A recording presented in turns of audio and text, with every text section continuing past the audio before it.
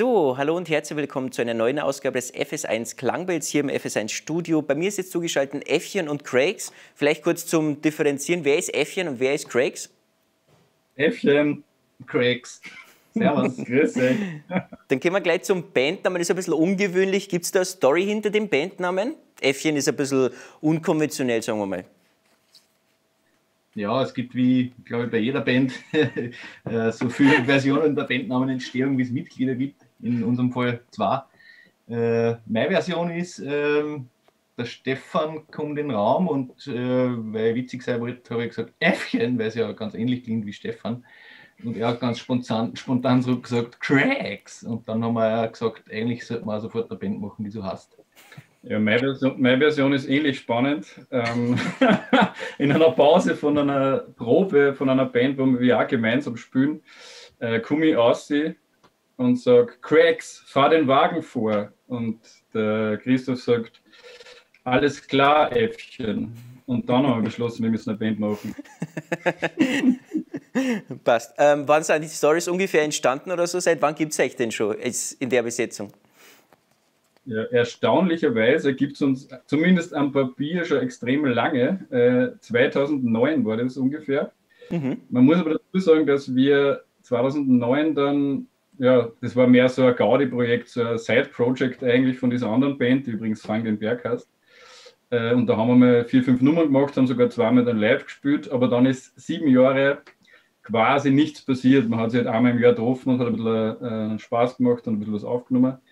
Aber irgendwann nach sieben Jahren, wo wir dann übrigens, in denen wir nicht auftreten sind, sind wir draufgekommen, ey, schon langsam hätten wir eigentlich ein Album. das war dann ungefähr 2017, äh, wo wir dann gesagt haben, eigentlich könnte man es jetzt ernst nehmen und haben dann ein Album rausgebracht. Und seitdem sind wir hochprofessionell unterwegs.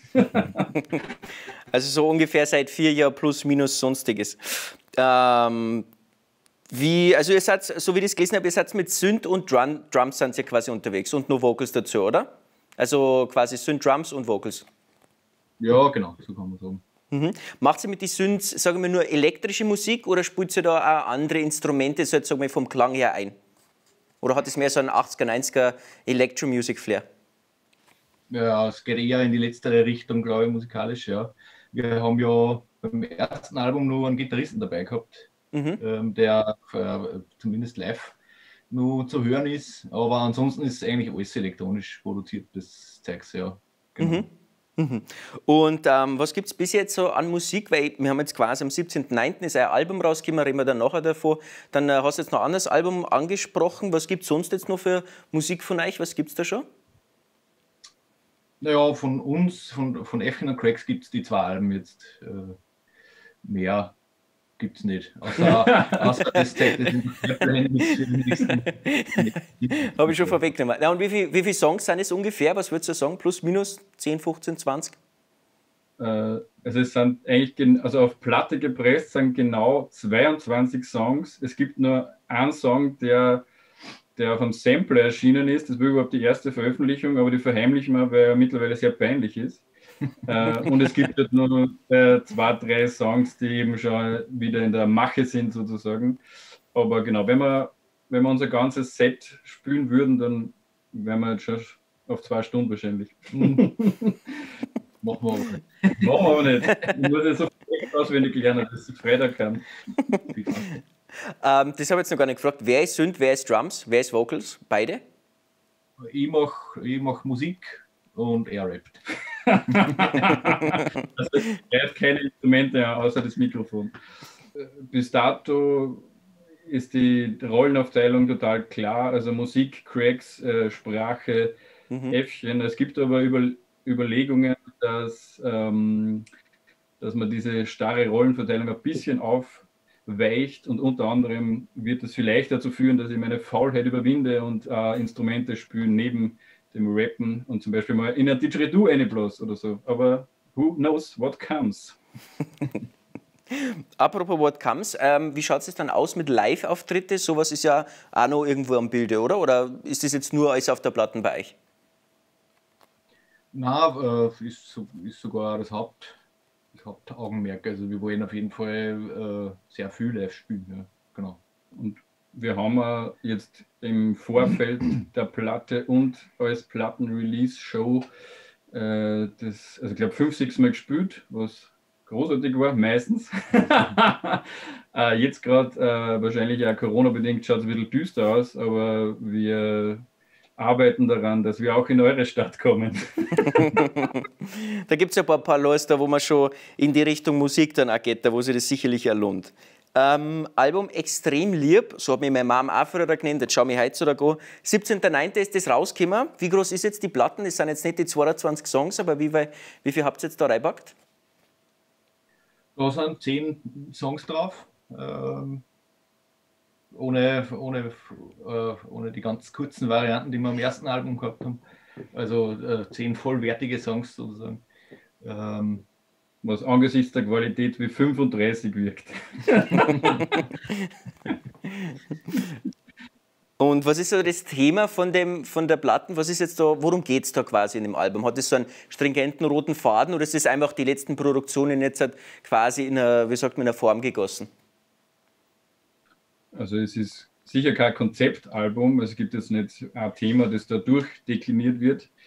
Ähm, in, auf der ersten Platten äh, war man noch sehr unterwegs Richtung Hip-Hop-Persiflage und deswegen, weil ich halt Hip-Hop wahnsinnig gerne über sich selber reden, äh, haben wir die Hälfte der, des Albums damit verbracht, über uns selber zu reden und, und das entweder satirisch äh, in den Himmel zu preisen oder halt zu dissen. Ähm, das ist beim zweiten Album jetzt, weil es uns einfach schon ein bisschen fad worden ist, äh, quasi nicht mehr der Fall. Also es gibt eigentlich nur eine Nummer, die quasi so ein bisschen Representer ist. Äh, und alles andere ist sehr bunt gemischt. Es gibt schon ähm, äh, politische, zumindest äh, Einsprengsel, aber mhm. ansonsten mhm. Nummern, die, da, da geht es manchmal um Bananen äh, und manchmal geht es um. Ah, jetzt bist du gerade kurz wieder weg sonst zum Beispiel?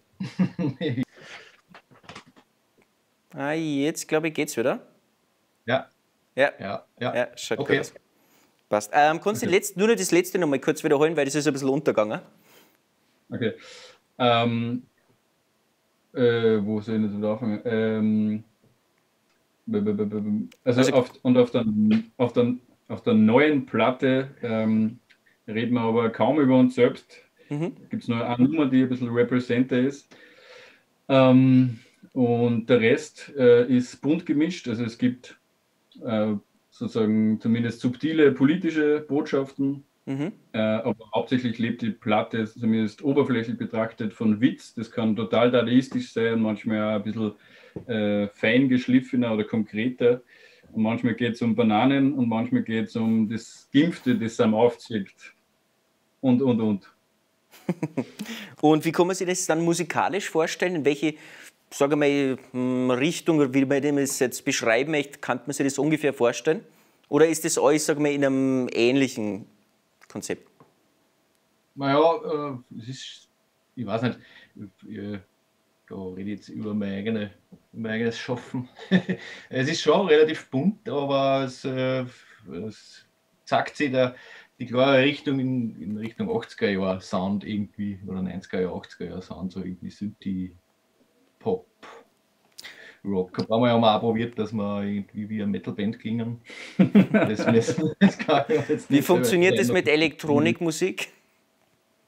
Äh, Oder mehr von der Stimme her? Zum äh, ähm, wie meinst du jetzt, wie, wie funktioniert es? Äh, ich meine, also beim Metal, sage ich mal, normalerweise kenne ich es jetzt, sage ich mal, eher so, der Frontmann grölt halt meistens umeinander, also, oder hat eine kräftige Stimme, weiß nicht, wenn du jetzt vom Hip-Hop kommst, dann zum Metal, was, was verstehst du darunter?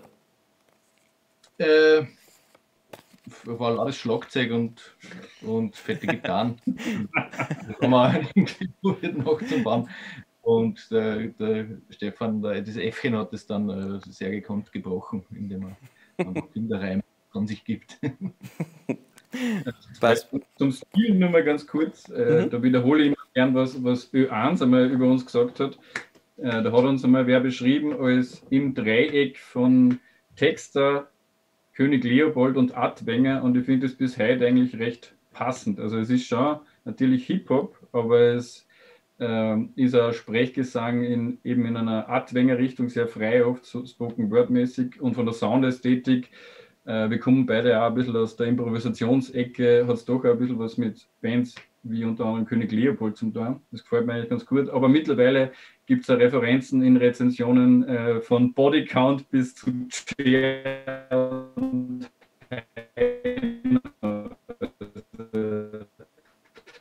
Das letzte habe ich nicht gehört. Bist gerade wieder ein bisschen. Warte mal kurz. Äh, ich glaube, jetzt seid ihr wieder da. Ich glaube, bei euch fährt vielleicht immer über eine Straßenbahn vorbei, die blockiert Signal so ganz kurz. Weil es ist irgendwie so periodisch, aber ist egal. Ähm, vielleicht kannst du mir das letzte ganz kurz wiederholen. Äh, ich glaube, okay. Impro, die Richtung war mal kurz, das habe ich noch gehört. Okay. Äh, also äh, ein Mensch bei Ö1 hat uns einmal beschrieben, es befindlich im Dreieck von Texter, weil ja, Texter steht für Hip-Hop und wir sind schon ein bisschen Hip-Hop, aber eben nicht nur. Wir, sind äh, wir setzen eine Rhythmik Sprachgesang ähnlich wie die Adwinger teilweise ein und haben von der Soundästhetik auch, weil wir ein bisschen aus der Improvisation kommen, äh, oft äh, Anleihen oder Ähnlichkeiten mit Bands wie König Leo. Äh, ja, wie gesagt, diese Verordnungen, die referieren, um uns zu beschreiben auf äh, Acts wie Heino, Chair oder Body Count. Also es ist sehr bunt gemischt und regt offenbar die Fantasie an. ähm, und ähm, wenn ihr jetzt so sagt, das Album, steht sich das nur irgendwo vor, auftrittsmäßig oder so? Ist da was in der nächsten Zeit geplant? Ja, in der nächsten Zeit eben leider nicht, äh, weil die Planung gerade halt recht schwierig ist. Also, ich, also wir sind jetzt auch noch nicht so etabliert, dass man sagen kann, da kommen eh fix 500 Leute und dann ist der Abend geritzt. Und deswegen ist für uns die Planung ein bisschen schwierig, aber wir wollen das auf jeden Fall noch sehr oft live spielen. Also, das Album ist ja gerade einmal heraus. Mhm. Ist ja noch nicht einmal ein Monat, also das haben wir ja noch, haben wir ja noch Zeit, so dauert normalerweise dann immer ein bisschen länger. Dann reden wir noch ganz kurz über Banane, das Musikvideo, haben wir letztens so geschaut, ist äh, wirklich ein bisschen Banane. Äh, was ist da die Idee dahinter, wie heißt das gekommen, mit dem Greenscreen und so im Auto fahren?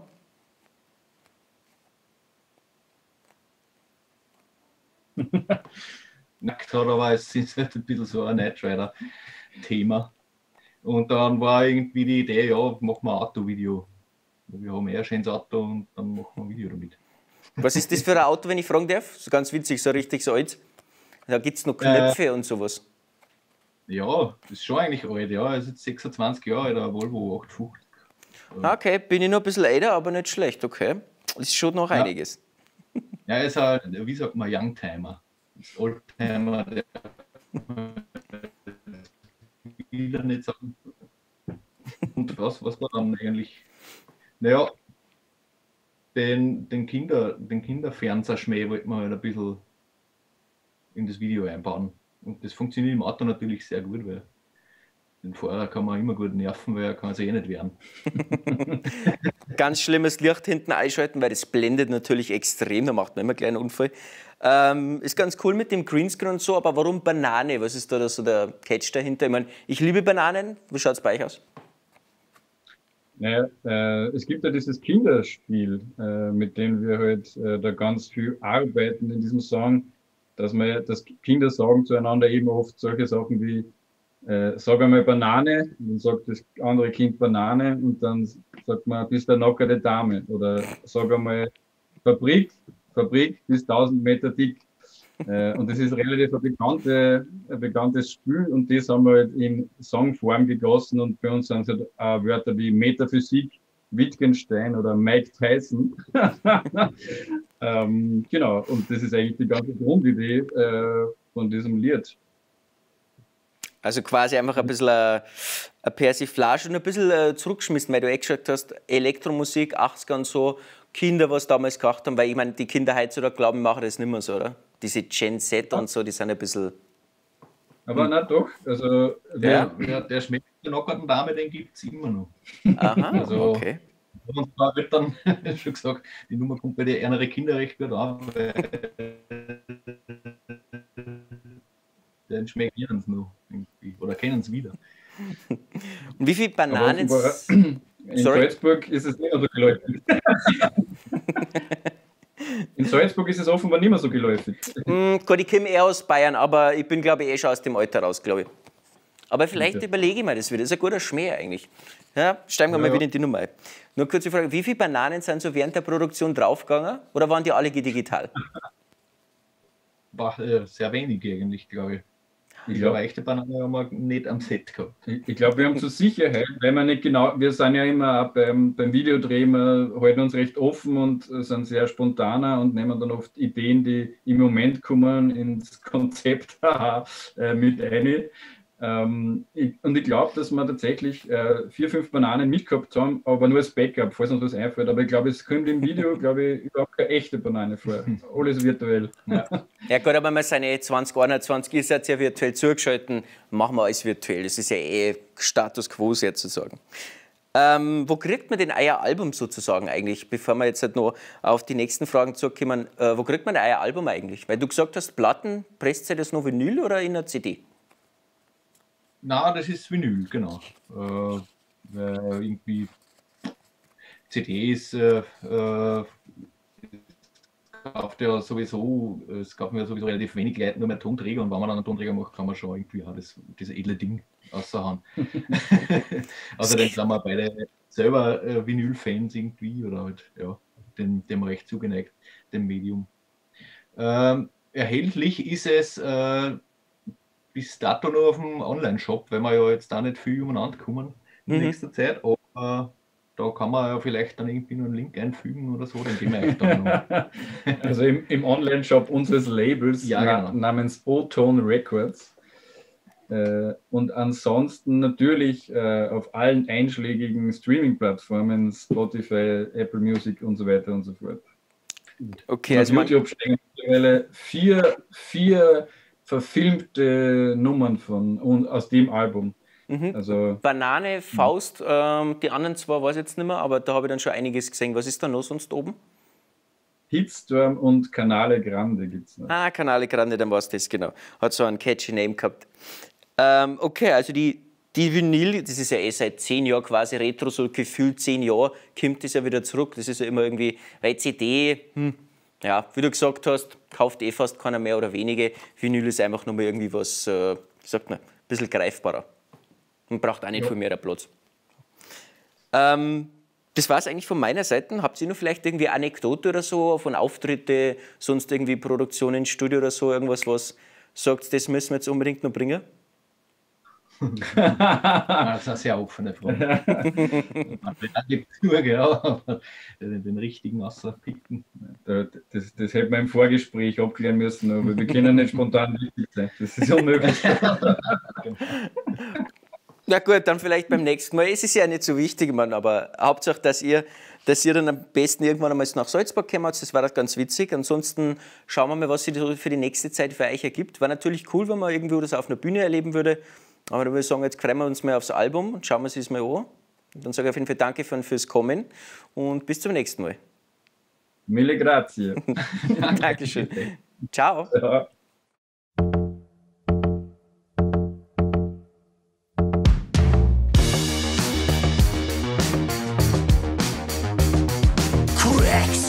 Sag einmal Nirvana. Nirvana. Hast ein Loch im Pyjama. Metaphysik. Metaphysik. Kriegst einen Fetzen ins Gesicht. Cracks. Sag einmal Mike Tyson.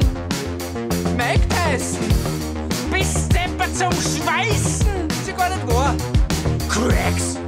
Sag einmal Zylinder. Cracks. Zylinder. Na, jetzt freut's mich nicht mehr. Ich sag niemals Banane.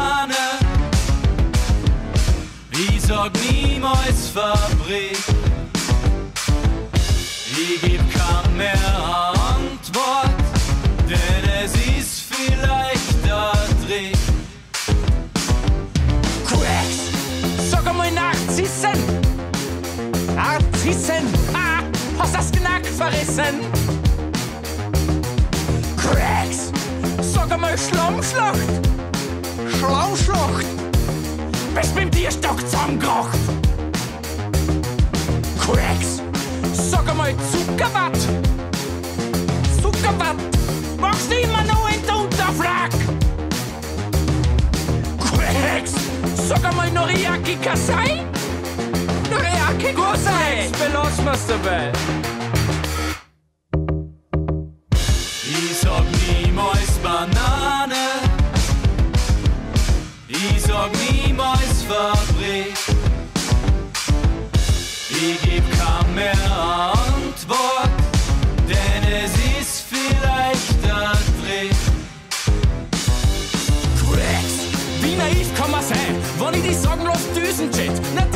Du schon nach einer Hüsenfett. Und wenn ich die sagen lass Wittgenstein, was glaubst was ich dann sag? Vielleicht, du sollst immer glücklich sein, traum weiter. Aber ich geb dir jetzt einen Tipp, ich plaudert, weil ich so ein guter Lausch bin. Für die aus dem Nähkastel.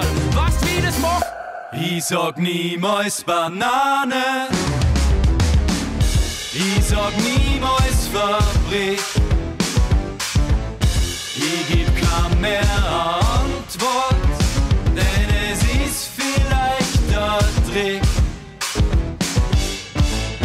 Was ich bin, ich alleine. Auf euch an Senf gib ich Fick. Ich bin eine knockerte Dame